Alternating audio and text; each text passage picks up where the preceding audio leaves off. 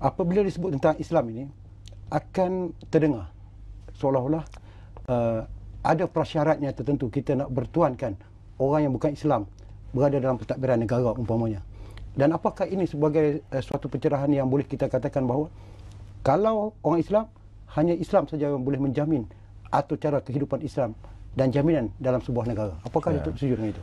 Ya, terima kasih. Saya sebelum saya pergi ke situ, saya dengar, apa keadaan kita orang Islam di negara bukan Islam? Hmm kita juga mahu supaya kita ada kedudukan. Kalau kita dengar ada tokoh-tokoh Islam ataupun mana-mana ahli politik Islam yang mendapat tempat di UK umpamanya, mm-hmm. kalau keandainya Singapura. ataupun di Singapura, kita mm. rasa bangga. Yeah. Dan kita tak kata pada jangan awak terlibat di sana mm-hmm. kerana itu sistemnya bukan Islam. Demikian juga kita tahu orang lain juga mempunyai nilai-nilai yang sama. Mm-hmm. Tetapi identiti negara sebagai sebuah negara Islam itu, sebuah negara umat Islam itu dalam uh, beberapa cara yang patut dipelihara. Dalam masa yang sama, Islam ini soal pentadbiran bukan soal semayang subuh ataupun semayang yang mana makmumnya juga mesti beragama Islam dan mengambil wuduknya syaratnya Islam tu imam yeah. mesti Islam.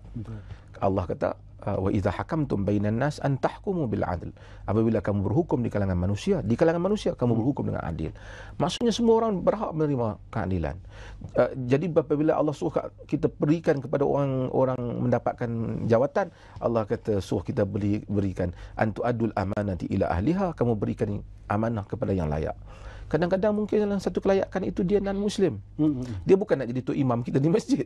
Dia nak mengira akaun kita. Hmm.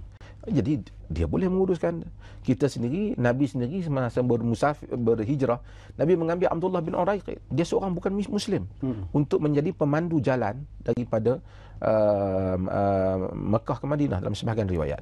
Maka dengan itu menunjukkan bahawasanya menggunakan khidmat non muslim untuk dalam dalam dalam konteks yang memberikan manfaat.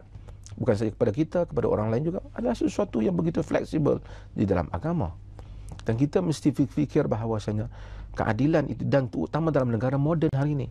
Dulu undang-undangnya duduk pada tokoh. Hmm. Uh, ini ulama besar dia keluarkan fatwa. Tapi semua orang hari ini hakim tidak boleh mengeluarkan undang daripada kepala dia.